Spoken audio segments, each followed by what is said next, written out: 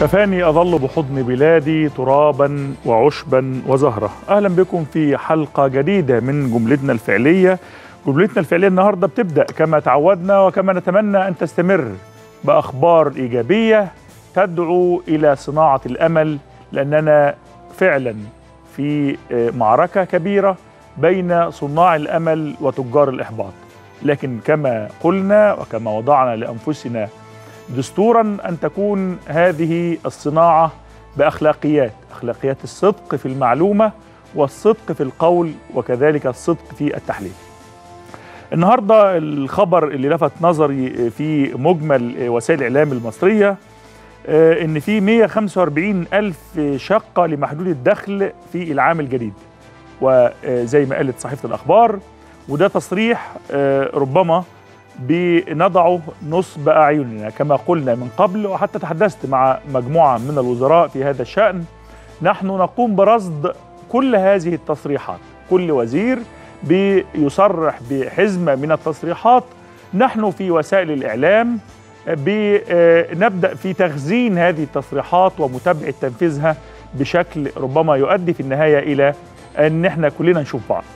لكن وزير الإسكان أعلن 145 ألف شقة لمحدود الدخل وده وفقا لتعليمات وتوجيهات السيد الرئيس اللي أتمنى أن تختفي كلمة وعبارة وديباجة طبقا لتعليمات السيد الرئيس. يعني الرئيس بيختار وزراء على الوزراء إن هم يقوموا بواجباتهم دون انتظارا لتعليمات السيد الرئيس وده بيذكرني بالدكتور عاطف عبيد رحمة الله عليه عندما قال لقد أمرني الرئيس مبارك أن أقول الصدق أعتقد إن الصدق كان ليس في حاجة إلى تعليمات أو أمر من أي إنسان حتى ولو كان رئيس أو ملك فبالتالي دعوتي إلى كل السادة الوزراء المحترمين أن يقوم كل وزير بمهامه وبدوره وبواجباته دون انتظار لتعليمات السيد الرئيس التي ربما يجب أن يتفرغ لأمور أكثر أهمية من ذلك. الخبر الثاني أو الرقم الثاني الذي وقفت عنده بشيء من الإجلال والتقدير هو إنه الأسبوع القادم مع بداية العام الجديد ندعو الله ونسأله أن يجعله عام خير وعام رشد وعام استقرار وعام رخاء وعام نماء لمصرنا الحبيب. اللهم آمين. في الأسبوع القادم الإعلان عن أول ثلاث قرى مصرية خالية من فيروس سي. هذا الخبر في غاية الأهمية. هذا الخبر في غاية التفاؤل. ثلاث قرى مصرية قرى من الريف المصري هيتم الإعلان عن خلوهم من فيروس سي. وكم كنت أتمنى أن يتم الإعلان أيضا عن إن الريف المصري أصبح بلا أمية. متى يتحقق هذا الحلم؟ أن تتحول القرى المصرية إلى قرى متعلمة وأن يختفي وتختفي الأمية من كل ربوع الوطن. كم كنت أتمنى أن تقام احتفالية دولية تحت سفح الهرم يتم وداع آخر مواطن يعاني من الأمية. ثلاث قرى خالية من فيروس سي بشرة خير. بشرة خير حقيقية لكل مرضى فيروس سي. مرضى الفيروسات الكبدية اللعينة اللي الحمد لله قطعنا فيها شوط وانخفض نسبة الإصابة بالفيروس وصلوا يمكن ل 4 مليون أو 4% أو حاجة من هذا القبيل. أنا أتصور أنه القادم أفضل إن شاء الله لكن علينا أن نتكاتف ونستمر على قلب رجل واحد. الرقم الثالث اللي استوقفني إن صندوق تحيا مصر تحول إلى شركة قابضه شركة قابضه تستهدف تحقيق حزمة من الأهداف الموضوعة وتم وضع رأس مال 2.5 مليار جنيه. 2.5 مليار جنيه رأس مال صندوق تحيا مصر الذي تحول إلى شركة وكم كنت أتمنى أن يحقق الرئيس طموحاته وأحلامه عن طريق هؤلاء آه الناس هؤلاء هؤلاء المجموعة هؤلاء آه المصريين الطيبين اللي هم رجال أعمال اللي كان الرئيس بيعول عليهم إن الصندوق يبقى رأس ماله 100 مليار جنيه. لكن ما لا يدرك كله لا يترك كله. والرجل آه فتح الباب وكل من يستشعر أنه مدين لهذا الوطن عليه أن يوفي بهذا الدين. كلنا مدين مدينون لهذا الوطن. كل من يعيش على تراب مصر مدين لمصر. وبالإضافة إلى الدين الطبيعي إنه فيه خطأ. وأخطاء ارتكبناها جميعا في حق هذا الوطن. ألم يأن لنا وألم يأن لكم أن نستفيق ونسدد هذه الديون ونصحح هذه الأخطاء من أجل هذا الوطن؟ إنا لمنتظرون. ال- الأخبار اللي أنا شايف إن هي أخبار إيجابية بيتبعها ربما آه، حديث الساعة. حديث الساعة النهاردة في كافة وسائل الإعلام هو ما انتهى إليه ال- الاجتماع الحادي عشر. الاجتماع الحداشر لمفاوضات سد النهضة الإثيوبي اللي مصر بتخوض فيه حرب مفاوضات ماراثون للمفاوضات شرس للغاية. كل الصحف بتتحدث كل الصحف بتجتهد كل الناس بتدلي بدلوها اللي خايف اللي مطمن اللي مش فاهم اللي مش عارف اللي مش عايز يعرف هو ده ال- ال- المجتمع اللي موجود. لكن في النهاية هناك تخمينات كثيرة. النهاردة تم وضع النقاط على الحروف. وأنا بالأمس تحدثت أنني متفائل لأسباب كثيرة آه، في هذا الموضوع والنهاردة تم التوقيع على اتفاق جديد بشأن النقاط العالقة حول سد النهضة زي ما بتقول صحيفة الشروق. وتم الاتفاق في هذا تم التوقيع على هذا الاتفاق اللي آه، تم وضع حزمة من النقاط بتضمن إن الأمور تسير في الإطار السليم. زي ما قلنا إنه في حالة من حالات الضبابية حول بناء السد وحول معدلات الإنجاز. يعني إحنا بنقول إنه إثيوبيا حولت مجرى النهر وأصبح في مساره الطبيعي آه، في النيل الأزرق. الإثيوبيين قالوا ده الكلام ده موجود من شهر أنتم مش دريانين فإحنا قلنا يا سفارة مصرية في إثيوبيا من فضلك عرفينا. والناس الإعلاميين عليهم إن هم يبعتوا مندوبين عشان نقف على الحقيقة. النهارده تم الاتفاق في البند الأول من هذه الاتفاقية أو من خريطة الطريق على زيارات ميدانية بالموقع لمتابعة نسبة ومعدلات الأداء والتنفيذ منعا للقيل والقال ونشر الإشاعات. آه، في اجتماع فني يوم 3 و4 يناير يعني الأسبوع اللي جاي إن شاء الله في اجتماع فني في إثيوبيا في أديس أبابا.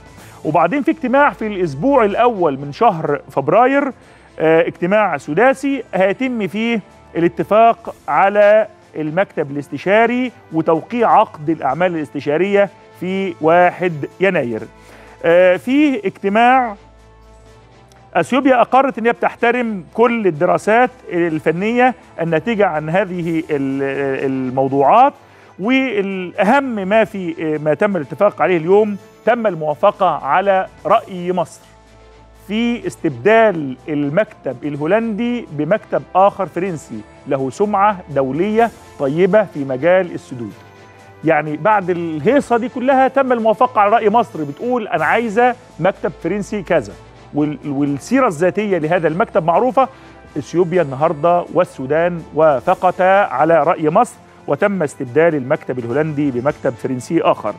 وفي ال- الفقرة الأخيرة إثيوبيا والسودان بتجدد ومصر بيجددوا الثلاث دول التزامهم بوثيقة المبادئ باتفاق المبادئ اللي موقعة بين الرؤساء الثلاثة في مارس 2015 اذا القضية وضعت في نصابها من جديد لكن الصحافة بتاعت بكرة بتتحدث بتقول البوابه بتقول توقيع وثيقة الخرطوم وسداسي جديد في فبراير مفاوضات سد النهضة مصر تصر إثيوبيا ترفض وربنا يستر. ربنا يستر في كل الأحوال لكن دائما المشاغبات الصحفية تضفي نوع من ال- السخونة في الأداء عشان الناس تقرأ. لكن قضية سد النهضة قضية لا تحتاج إلى اجتهاد وإنما قضية تحتاج إلى دقة في نقل الخبر منعا للقيل والقال. آه، صحيفة الوطن قالت آه، في صحافة بكرة برضو فيما يخص الموضوع إنقاذ مفاوضات سد النهضة بوثيقة المبادئ. وثيقة المبادئ بتقول مصر يعني آه، نسير آه، بخطى ثابتة وإثيوبيا بتقول أنجزنا آه، يعني إنجازات مقبولة والسودان بتقول إن شاء الله هنوقع على اتفاقية تضمن استمرار الأمور في نصابها. في اليوم السابع وثيقة الخرطوم حل مؤقت لخلافات سد النهضة وفي روزا اليوسف مصر والسودان وإثيوبيا يوقعون وثيقة الخرطوم لحل الخلافات سد النهضة العالقة. إذا يعني آه، هذا أهم ما آه، قيل في صحافة الغد حول هذا الموضوع. وفي نفس الوقت الأمور بدأت تتضح رويدا رويدا أننا نسير في الطريق السليم. ندعو الله أيضا أن يشهد عام 2016 إنهاء ونهو هذا الموضوع بما يحقق مصلحة الشعب المصري العظيم والدولة المصرية الصادقة المخلصة التي تبذل قصارى جهدها من خلال كافة الأجهزة للوصول إلى حل. وهذا الحل آه، نحتاجه في هذا المربع في هذا التوقيت في الإمكانيات الحالية بعيدا عن آه، أي خيارات أخرى لا قدر الله. نحن في وقت عصيب لكن دايما وزي ما بقول إنه التفاؤل مبعثه معلومات. الموضوع في أيدي امينه ثقوا في الإدارة المصرية الحالية فيما يخص مفاوضات سد النهضة وليس كل ما يعرف يقال. من هذه الأخبار وحزبة الأخبار التي أراها إيجابية وتبني وتدفع بطاقة إيجابية وتصب في نهر الأمل اللي إحنا بنحاول أن نحفره في جو صخري صعب للغاية إحنا آه، بنحاول أن نحفر آه، بشكل فأس نحفر بها في نهر ال- الأمل لكن هناك صخور وهناك عقبات وهناك مطبات وهناك مرتزقة وهناك من يحاول أن يعكر الصف لا علينا بهم علينا أن ننتبه وننظر إلى الامام النهارده وزارة الداخلية أعلنت ملف اسمه آه، حصاد الجهود الأمنية خلال عام 2015 في الحقيقة يعني هذا الملف مطلوب ويا ريت كل كل وزارة وكل مؤسسة تطلع حصاد زي اللي عملته وزارة الداخلية النهارده قبل ما اتكلم على مضمون هذا الحصاد وملاحظاتي أو البيانات اللي واردة فيه. آه، لفت نظري النهارده في جريده المصري اليوم. في المصري اليوم النهارده كان المنشط الرئيسي آه، حاجة تخوف كده. المصري اليوم تفتح ملف الاختفاء القسري. ده منشط كبير في المصري اليوم.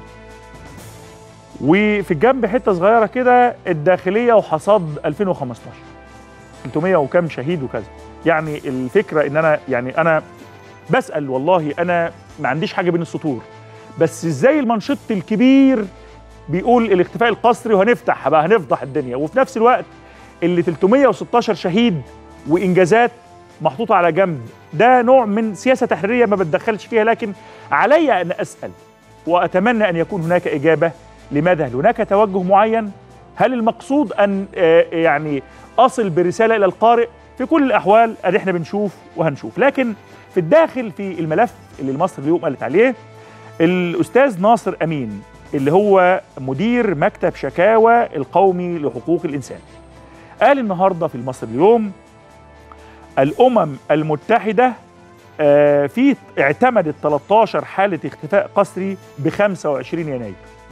يعني في أثناء 25 يناير الأمم المتحدة اعتمدت 13 حالة اختفاء قسري. طيب مين اللي مين اللي مين اللي خطف مين ومين اللي اتخطف؟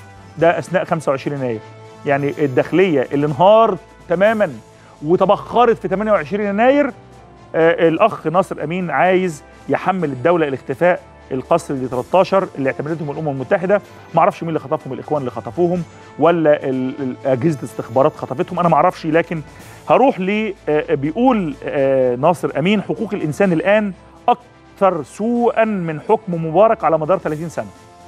ده الأخ ناصر أمين. بيقول كمان التعذيب في مصر ليس حالة فردية ويجب محاسبة المتورطين فيه. وكمان تطهير الأجهزة الأمنية. ده ناصر أمين اللي هو آه، مدير مكتب شكاوى القومي لحقوق الإنسان. المفاجأة اللي يعني كنت فيها آه، وأمامها في حالة ذهول ودهشة ده راجل في آه، المجلس القومي لحقوق الإنسان. رئيس المجلس القومي لحقوق الإنسان محمد فايق اللي هو رئيس المجلس نفسه رئيس ناصر أمين آه، عامل بكرة حوار في جريدة الوطن. بيقول إيه؟ بيقول لا يوجد تعذيب ممنهج وحملة الاختفاء القسري هدفها تشويه مصر بالخارج. يبقى ناصر أمين بيقول التعذيب في مصر ليس حالة فردية ويجب محاسبة المتورطين فيه وتطهير الأجهزة.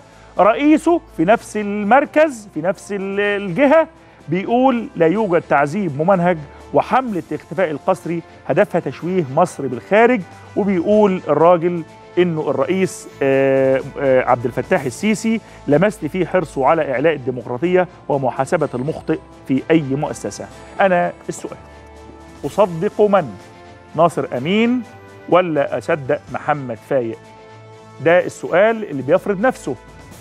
آه عملية التطهير اللي بيتكلم عليها الأخ آه ناصر أمين خلت الأستاذ حمدين صباحي بيقول ويطالب بتطهير الشرطة بعد مقتل شاب بكفر الشيخ زي ما قال جورنال مصر يعني ناصر أمين استخدم لفظ تطهير الأجهزة وبالمصادفة البحتة البريئة إن حمدين صباح استخدم نفس التعبير بعد مقتل شاب في كفر الشيخ بيقول آه عايزين نطهر الشرطة. معلوماتي أيضا وربما أكون مخطئ. إن شاب كفر الشيخ كان شاب راكب موتوسيكل في مدينة المحلة ومعاه اتنين زمايله راكبين على نفس الموتوسيكل. في كمين رفضوا يقفوا للكمين. الكمين وقفهم رفضوا يقفوا للكمين. تخيل إنه واحد راكب موتوسيكل والكمين حاول يوقفه رفض ومشي وموتوسيكل. كيف يتم التعامل معه؟ تم التعامل معه وقتل الشاب المصري هل هو بريء؟ هل هو مدان؟ هل كان خايف؟ هل كان معاه مثلا قرص ترامادول وخاف؟ هل ما كانش معاه حاجة وشاب خايف وشاب بسيط؟ الله أعلم.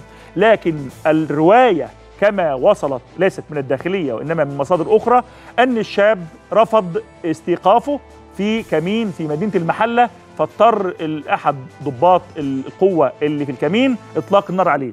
ده كله للتحقيقات النيابة مش شغلتي ومش شغلة حد ولا شغلة حمدين لكن ما ينفعش أقفز على كل التفاصيل وأقول مطلوب تطهير في الداخلية. يعني إحنا كلنا عايزين تطهير في كل مؤسسات الدولة. على فكرة يا أستاذ حمدين أنت عايز تطهير في حزبك إن كان عندك حزب. وعايزين تطهير في أفكارك إن كان عندك حضرتك أفكار. إحنا محتاجين كلنا تطهير أنفسنا وتطهير ثيابنا. أه قبل ما أطلب من الآخرين أبدأ بنفسي. لكن في كل الأحوال أنا أشتم رائحة ربط بين كلام ناصر أمين وكلام حمدين صباحي وكلام الأخ اللي موجود في تغريدات في مستودع التغريدات محمد البرادعي وهلم جره كلهم بيغردوا بنفس الطريقة في هذا التوقيت لشيء ما. رد عليه الراجل المحترم محمد فاي ويقول الكلام ده هدفه تشويه صورة مصر بالخارج فاصل ونعود.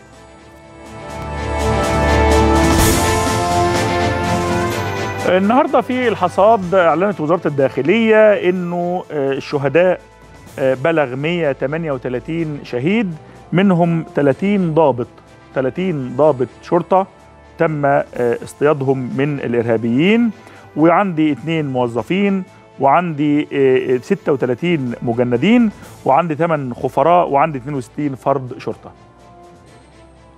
ده عام 2015 138 ضابط شرطة. أنا بس بفكر الأستاذ حمدين. بقول له كام واحد من 138 آه تم اصطياده في كمين وكان الجاني راكب برضه موتوسيكل.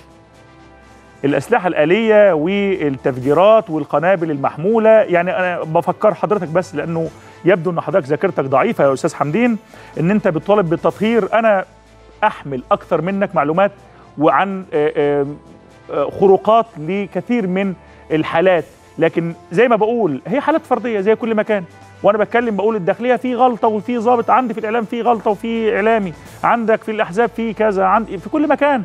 يعني مش عايز إحنا مجتمع تقريبا كلنا بنحمل نفس الأخطاء وبنحمل نفس المعدلات الأخطاء في الأداء. فبالتالي مش عايزين نزاد على بعض. لكن 138 واحد 30 ضابط يا أخي تخيل يا أستاذ حمدين إن واحد من الضباط ال 30 اللي ماتوا أو واحد من 138 مواطن مصري في الداخلية ماتوا وتم اصطيادهم وتم استشهادهم تخيلوا إنه ابن حضرتك. يعني أعتقد إن كان هيبقى رأيك مختلف. أنا أعتقد إنه الناس اللي بيتكلموا على الشرطة وتطهير الشرطة أنا أحمل ملاحظات كثيرة على الشرطة أكثر من حضرتك. لكن في كل الأحوال إحنا عايزين نكون منصفين ونحن نتحدث. آه عندي التقرير الأمن العام بيقول إن فيه عندي 77 قضية اغتصاب عندي 1184 قضية قتل عمد عندي 700 قضية سرقة بالإكراه عندي 164 قضية خطف عندي 400 قضية حريق متعمد عندي 433 قضية هتك عرض. دي المعلومات اللي جت من وزارة الداخلية. الأموال العامة عندي 171 قضية اختلاس 322 قضية اتجار بالنقد والتهريب 198 قضية رشوة عندي 53 أو 52 قضية غسيل أموال عندي 65 قضية كسب غير مشروع. عندي 258 قضية تزوير وتزييف. ده يعني أنا أتصور إنه ما قيل في الداخلية الآن ربما بيعكس فيما يعكس إنه في شغل في شغل واضح في خلافات في خروقات في أخطاء آه في موجود. واللي يقول كده يبقى كذاب يبقى مش فاهم. هل في ضباط بيتجاوزوا آه في ناس أنا قلت قبل كده كم واحد بتحول للنيابه كم واحد في السجن كم واحد أخطأ وفي ناس عذبت مواطنين وفي ناس موجود هذا الكلام. لكن أنا ما أخدش نصف الكوب الممتلئ أو الفاضي وأشتغل. لا خليني أبص للصورة كاملة. عندي 138 واحد مات وعندي كام مواطن مات وعندي كام إرهابي عمل كذا والأسباب والملابسات. خلينا نبقى منصفين وخلينا نبقى فعلا بنخاف على بلدنا. أه قضية الشرطة وقضية أداء الشرطة وقضية الداخلية والتعاطي مع الداخلية وكل واحد بيحصل حاجة بينظر. أنا نفسي أقرأ مرة تغريدة لمحمد البرادعي أو علاء الأسواني أو مصطفى النجار أو حمزاوي عمرو حمزاوي أو أي من هؤلاء أو حمدين صباح. نفسي أقرأ مرة واحد فيهم بيتكلم بحرقة على ضابط بيقتل سواء شرطة أو جيش. نفسي حد فيهم يطلع يتكلم على مواطن. حصل له مشكلة. وما تيجي اسالكم سؤال تاني هي فين الحقوق المدنية والاجتماعية والاقتصادية للمواطنين؟ هو آه الأخ ناصر أمين والمجلس القومي لحقوق الإنسان فقط بيتكلم على الحقوق السياسية والجنائية؟ مفيش حقوق اقتصادية؟ حقوق التعليم؟ حقوق الصحة؟ ما تروحوا تشوفوا الناس اللي قاعدين في القصر العيني والناس اللي في معهد الأورام والناس اللي في معهد الكبد والناس اللي في كذا وكذا. هو دول مش مصريين ولا إحنا بس بنركز على ما يطلب مني أركز فيه من المنظمات الدولية. على فكرة الصورة واضحة وبلاش مزايدة لأنه مصر مش مستحملة. تاني مصر مش ناقصة. وتحذير متكرر مني لكل هؤلاء الشعب المصري بدأ يكفر بكم. من الداخلية ومن تقرير إلى البرلمان. والبرلمان وحتى ينعقد البرلمان جميعنا ننظر ماذا يحدث. نتابع نراقب نحلل نستغرب نندهش مما يجري من قارة البرلمان ومن أعضاء البرلمان وما بين أناس جادين بشكل رهيب ويحملون هموم الوطن هم بين لاعبون بين لاعبين لاهين متطلعين إلى الكرسي إلى المناصب. إحنا شايفين الحلو وشايفين الوحش. زي ما بنعلق الوحش بنعلق الحلو لكن في كل الأحوال هناك عقلاء. المجلس متى ينعقد نتابع أداء المجلس ونتمنى أن يكون مجلسا على مستوى المسؤولية بما فيه من أشخاص على قدر المسؤولية. هناك أناس بيتعلموا هيتعلموا هيندمجوا في ناس داخلين لتحقيق مصالح. أكيد هينكشفوا زي ما انكشفوا قبل كده. النهارده عندي الدكتور عماد جاد عامل حوار في جريدة الوطن بيقول عماد جاد كلام غريب وكلام يعني لابد إن إحنا نقف عنده. هناك محاولات للتحرش بداخل المصريين الأحرار. ده عماد جاد بيتكلم على حزب المصريين الأحرار بيقول فيه محاولات للتحرش بيا من حزب المصريين الأحرار. وانتخابات رئاسة الحزب مسرحية كوميدية. لن أمنحها الشرعية.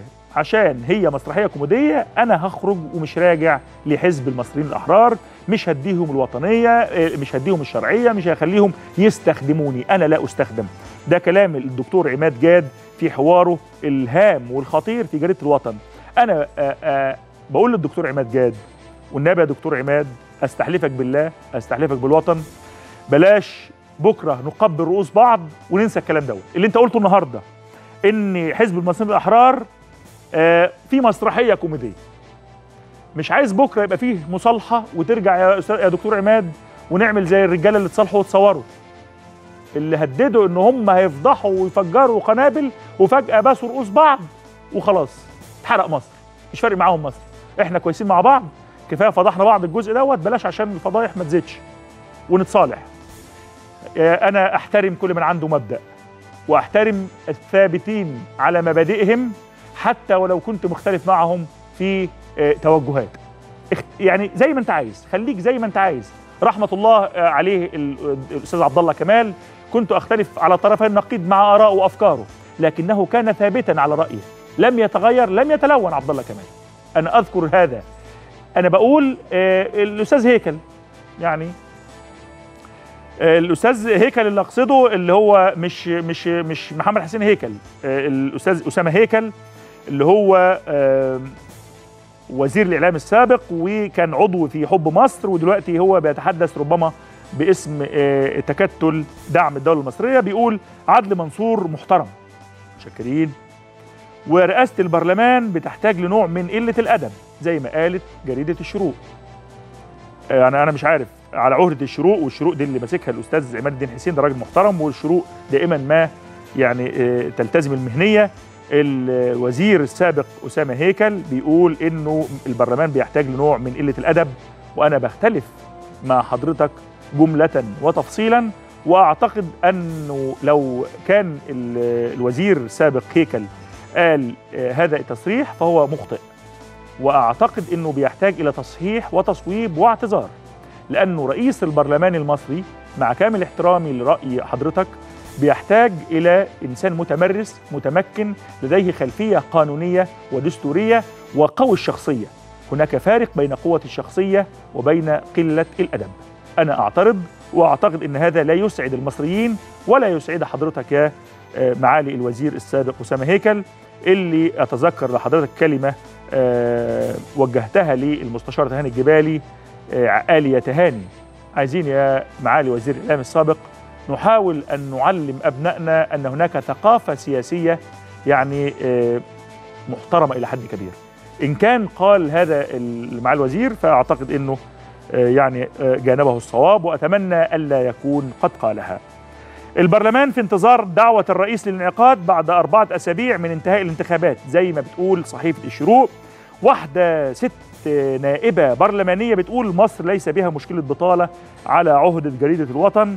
وبقول للأخت العزيزة آه، البرلمانية اللي نجحت في الانتخابات بصوت الشعب والله لو أبناء دائرتك قروا هذا التصريح أو سمعوا منك لا يعملوا لك عملية خلع سياسي. أنت تستحقين الخلع السياسي والبرلماني. عيب لما أقول مصر ما فيهاش بطالة يعني ده ما فيش دولة في العالم ما فيهاش بطالة ولازم نعمل تدريب للتصريحات السياسية للسادة النواب. عندي آه، فتنة جديدة بتطل علينا وإحنا اللي بنصنعها. زي الفتن اللي اتكلمت عليها قبل كده. النهارده عندي فتنة اتحاد الطلاب بتصل إلى درجة غير محتملة. المنظمة المصرية لحقوق الإنسان آه، حل اتحاد الطلاب يؤدي لمزيد من الفوضى بالجامعة وتؤكد دون سند قانوني. آه، عمرو حمزاوي ده الكلام ده خلى عمرو حمزاوي يقول تصفية اتحاد طلاب مصر وحبس شباب 6 إبريل انتهاك للحريات. الأخ آه، محمد أبو الغار مهزله إلغاء الانتخابات طلاب الجامعة زي ما بتقول المصري اليوم. ومصطفى النجار قال من ينقلب على إرادة طلاب مصر زي ما بتقول مصر اليوم. وخلى زميلنا عماد الدين حسين آه، يقول في الشروق هذا القرار الأخرق هذا القرار الأخرق. يعني آه، أنا تعليقي على ما جرى أن آه، أننا نفتقد إلى وزير له حس سياسي. نفتقد لوزير له حس سياسي أدى بنا إلى هذه الفتنة في آه، نهاية الحلقة آه، مقال عباس الطرابيلي. النهارده في المصري اليوم بيقول كلام كتير شغل مفيش كلنا بنتكلم كلنا بنتكلم كلنا بنتكلم لكن الشغل مفيش شغل. ده خلى رسام الكاريكاتير الفنان عمرو فهمي في الأخبار يقول إنه آه، يا ريت تجيبوه لنا يقول إنه الكلام اللي بيطلع من المسؤولين بنسمعه بقالنا سنين بقالنا 10 15 20 سنة بنسمع لهذا الكلام. يعني يعني كلام معبر للغاية. آه عندي آه في عبارة كانت صادمة امبارح. لا حوار مع المرتزقة ولا حوار مع الفارين. المعركة لم لم تبدأ بعد ده كان علي عبد الله صالح أمام اللجنة العامة لحزب المؤتمر الشي الشعبي العام الذي يتزعمه وعلي عبد الله صالح قال إنه المعركة لم تبدأ بعد في اليمن. أنا أتصور آه، إنه ال- الوضع في اليمن بعد هذا التصريح سوف ينقلب راسا على عقب علي عبد الله صالح معه الجيش القديم معه الأسلحة القديمة ابنه مقيم في الإمارات العربية المتحدة. أنا أتصور أن هناك انقلاب سوف يحدث في اليمن. بعد تصريحات علي عبد الله صالح في صحافة الغد بيتحدثوا عن اليوم. على بكرة إن شاء الله الرئيس يطلق إشارة البدء لمشروع المليون ونصف فدان زي ما بتقول روزا اليوسف والبوابة بتقول السيسي إذا وعد. الرئيس بيطلق إشارة البدء لمشروع المليون ونصف فدان في الفرافرة مبروك للشعب المصري آه الوصول إلى محطة بداية مشروع زراعة مليون ونصف فدان وإن شاء الله يكون فأل حسن وبداية لعام جديد. أدعو الله أن يسلم وأن يجعل هذا الوطن يعيش في رخاء وأن يجعل صناع الأمل ينتصرون على صناع الإحباط وتجارهم. أشوفكم بكرة على خير إن شاء الله.